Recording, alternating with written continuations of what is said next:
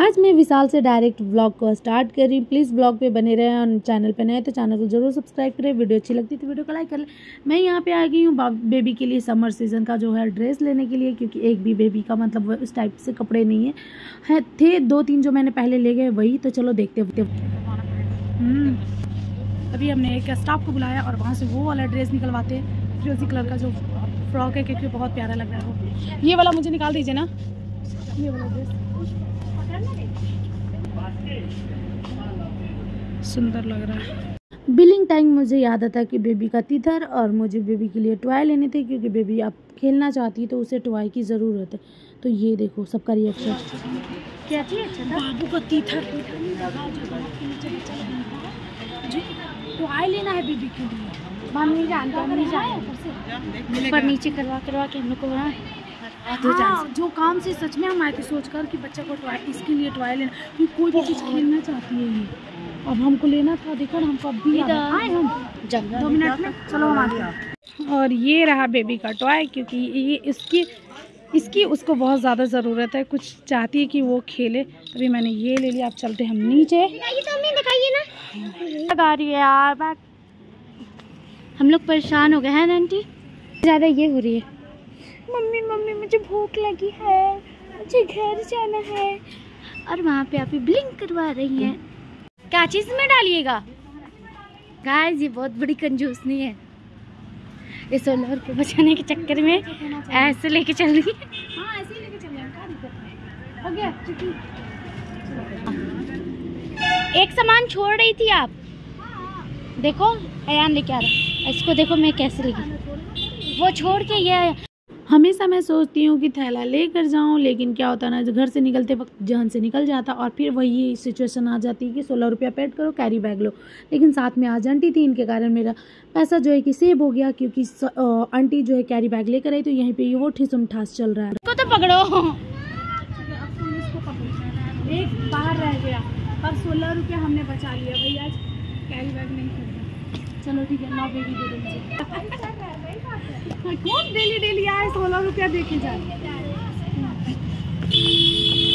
सही बात तो मार्केट से तो आ गई और यहाँ पे मैंने मंगा के रखा था फ़ीस मैं जल्दी से भाग के किचन में आई है रात के साढ़े दस बज गए और अभी तक खाना रेडी नहीं हुआ है। तो बस यहाँ पे बस मैं खाना रेडी कर रही हूँ और यहाँ पे रानी लगी हुई क्लीनिंग करने मतलब रफ्तार के बाद की हालत देख लो किचन में कैसी होती है। बस वैसे ही छोड़ के चली गई मार्केट। और बस फटाफट से बना लूँ और ये देखो ये वाले गमले मैंने ये विशाल से खरीद के लाई ये यूज़ भी होने लगा। और काफ़ी अच्छा कितने में दिया था रानी? नहीं नहीं सिर्फ़ सत्तर रुपये में थी क्या ऐसा कुछ नहीं यार।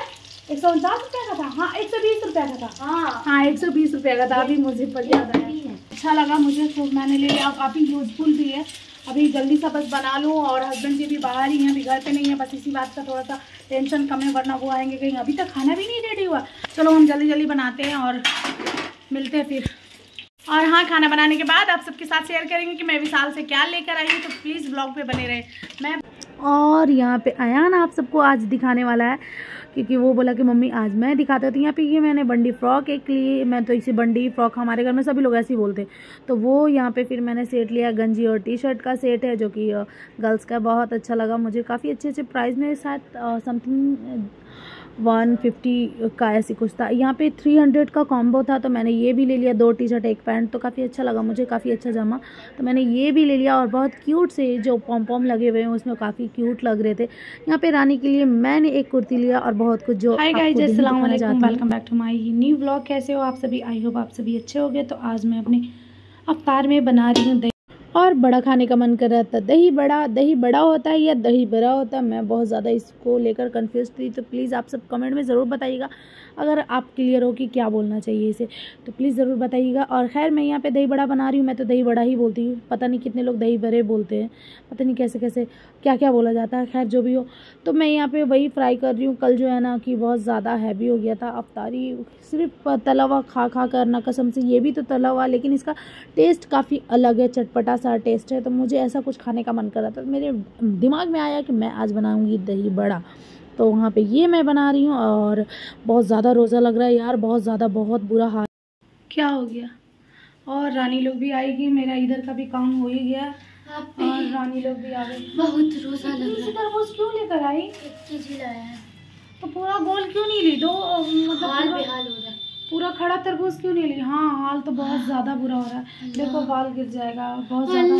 है। तो क्या करेगी? रहना पड़ेगा बर्दाश्त करना पड़ेगा अल्लाह की आजमाई से इस है। इस धूप में भी मेरे बंदे कैसे रोजा रखते हैं कि नहीं? क्योंकि शुरू टाइम तो शुरू टाइम तो ऐसा धूप मतलब बादल पानी वगैरह अभी इतना ज़्यादा आठ दस दिन से इतना ज़्यादा कड़क धूप निकल रहा रोज़ा मतलब रहना मुश्किल है। और इसी मुश्किल में आयान भी एक दिन रोज़ा रखा था और माशाल्लाह से पूरा रोज़ा रख गया मतलब पूरे दिन एक रोज़ा पूरा मुकम्मल किया था वो। पहला फ़र्स्ट रोज़ा रखा तो वो वीडियो मैं आप सबके साथ शेयर करूँगी और देखो इनकी हालत इनकी हालत का सभी की हालत ख़राब है। ठीक है, अभी बस हो गया है किचन में। अब जल्दी सा तरबूज वगैरह काटूँ। वज़ू वगैरह बनाओ और बैठो। ठीक है? चलो हम भी चलते हैं तरबूज आज। हस्बैंड जी हमेशा लेके आते हैं, एक अक्खा और ये लेकर आई है मैडम आधा। और नींबू का तो कहना ही नहीं, नींबू तो अपना भाव काफ़ी ज़्यादा बढ़ा रखा है। नींबू के भाव मतलब पंद्रह में एक कोई दे रहा तो पंद्रह में कोई दो दे रहा, पंद्रह में कोई बीस में एक दे रहा तो ऐसे हो गए हैं हाँ। तो ठीक है, कोई नहीं, सबका वक्त आता है। जैसे का टाइम आता है नींबू का भी अभी भाव बढ़ा हुआ है भाई। चलो ठीक है। अल्लाह, मेरा भी दिन आएगा इंशाल्लाह जो लोग मुझे देख कर हँसते हैं, एक दो बंदे को मैंने देखा भाई, कि बाइक पे जा रहे हैं, वो अगले वाले को इशारा करते हैं कि देखो देखो, वही है। पता नहीं ये क्या बोलते हैं कि हाँ यूट्यूब वगैरह बनाती है पता नहीं क्या बोलते हैं अब मज़ाक बनाते क्या बनाते खैर कि हाँ वो यूट्यूब वगैरह बनाती है और देख के मुझे हँसते हैं। तो खैर कोई नहीं उनका भी अल्लाह इंशाल्लाह मुँह बंद हो जाएगा। अगर अल्लाह ने चाहा तो मेरा तो मेहनत जारी है ही। और अ, मैं क्या बताऊँ मुझे बुरा भी लगता है कि क्यों ऐसे लोग करते क्योंकि मैं तो कोई गलत काम नहीं कर रही हूँ यूट्यूब पर मैं तो बस अपनी लाइफ स्टाइल जो भी जैसे जीती हूँ जैसे मैं रहती हूँ वो वो शेयर करती हूँ। इसमें कोई बुरी चीज़ तो नहीं है लेकिन पता नहीं क्यों मेरा लोग देख कर हँसते हैं। अब उनको अच्छा लगता है, इसलिए हँसते हैं कि बुरे में वे, बुरे वे में हँसते हैं, मुझे ये नहीं पता, लेकिन हँसते ज़रूर है। खैर, कोई नहीं, मेरे चक्कर में उनके चेहरे पे स्माइल तो आती है।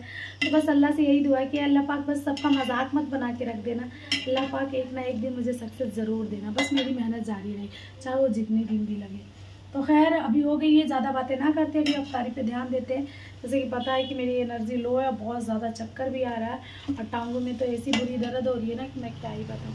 क्योंकि वीकनेस बहुत ज़्यादा लग रहा मुझे। ठीक है, खैर चलते हैं। आज जितना जल्दी हो गया, बस देखो दस्तरखान पे मेरा ये है, बस यहाँ पे तरबूजा और बेबी देखो कैसे झाँक रही है। बच्चा, मेरा प्याला प्याला बच्चा, ठीक है? मेरा बच्चा आज फिर से न्यू न्यू कपड़ा पहना है। नहीं आइस नहीं डाला, उसमें आइस डालना आइस क्यूब डालना, रानी मांग रही दुआ बेबी खेल रही उधर। आज हम लोग का हिम्मत नहीं कर रहा तो आयान सब कुछ ला के रख रहा और यहाँ पे कौन कौन ऐसे बोतल का इस्तेमाल करता है कि अगर माज़ा ख़त्म हो गया या कोई भी चीज़ ख़त्म हो गया तो उसमें पानी भर के रख दिया। तो मैं ऐसे ही करती अक्सर मेरे पास बॉटल आता है तो मैं फेंकती नहीं हूँ। ऐसे इस्तेमाल करती हूँ। लाका सुन तो। वगैरह हो गया रानी को भेज रही हूँ अभी थोड़ा सा मार्केट क्योंकि यहीं पे बगल में ज़्यादा दूर नहीं जाना बस रोड पे जाना है मोड़ पे। और मैं वहाँ से भेज रही हूँ अपने सूट का ईद का अस्तर लाने के लिए। तो रीदा देख कर रोना इतना स्टार्ट कर दी इतना ज़्यादा। और अभी इसके गोदी आकर बहुत ज़्यादा खुश है देख सकते हैं आप सब। कितना खुश है ये। क्यों? ये बाहर जाने घूमने मांग रही है मतलब कि हमको बाहर लेके चलो। और ये देख कर समझ गए कि सब कोई बाहर जा रहा है। चलो जाओ और ये अ, दुपट्टे से मैच करके बिल्कुल लेना है ना ठीक है ज़रा सा वो बोलेगा कि नहीं ये चलेगा वो चलेगा मत लेना ना ठीक है ये वाला जो सूट मैं लेकर आई थी वही उसी का दुपट्टा भी भेज रही हूँ नहीं लेकर जाओ बेबी मेरा घूमने खोज रही है जाओ लेकर जाओ उसको बहुत ज़्यादा खुश है माशाल्लाह से लो बेटा आयन तुम पकड़ लो ठीक है जाओ अच्छे आराम से जाना तीनों जन ठीक है ठीक है जल्दी आना इंतज़ार कर रहे तुम लोग तीनों का जाओ जल्दी जाओ हाँ ठीक है मुझे मत समझाओ तुम सही से जाना रोड पे जा रहे हो ना सही से इधर इधर उधर नहीं। हाँ हाँ हम रेडी रहेंगे जाओ जल्दी जाओ। क्योंकि अभी आ, जब आएगी तो वो मुझे जाके बुटीक में भी देना होगा। क्या? हाँ तुम तो खैर सब चीज़ में जल्दी हो। ये कल मैंने कुर्ती लाया और आज पहन ली है सब चीज़ में तो नहीं है। बाय बेटू। हले हले हले हले हले हले। कितना कुछ है कितना कुछ है। पप्पू मेरी कितना कुछ है। जब बाय बाय बाय बाय जल्दी आना जल्दी। रानी को तो भेजी थी मैं मार्केट लेकिन रानी ने अस्तर नहीं लाया क्योंकि मिला ही नहीं। मतलब कपड़े से मैच नहीं कर रहा था। मैंने लास्ट में बुटीक वाले को जा रही हूँ बोलने की ताकि वही ला के वही लगा दे। जो भी पैसा होगा ले लेंगी तो मैं अभी जा रही हूँ वहीं। देखते कॉल पे बात कर लेते या फिर जाके बोल देते। और अभी हम लोग चले। कंप्लीट कीजिएगा इस ब्लॉग को। आधा अधूरा छोड़ देती हैं। जी हाँ आखिर आजकल ऐसा ही हो गया। करेंगे रानी मतलब हम क्यों ले जब आप ब्लॉग बना रही हैं तो आप ही ना बना पूरा करोगी। अच्छा अच्छा। ऐसी बात है तो चलो भाई हम पूरी फैमिली के साथ अभी निकल गए हैं। चलते हैं आयान के शर के घर फिर जाएँगे बुटीक कैसे देख रही है आंटी को? कैसे देख रही है ये लड़की? आंटी यहाँ पे कपड़ा दिखा रही है क्या कि अपना। वालेकुम अस्सलाम। कैसे दी आंटी? गले पे हल्का सा पट्टी वर्क है ना? अच्छा लग रहा प्यारा लग रहा है ये पजामा? और दुपट्टा? दुपट्टा ये है। सुंदर लग रहा है ड्रेस।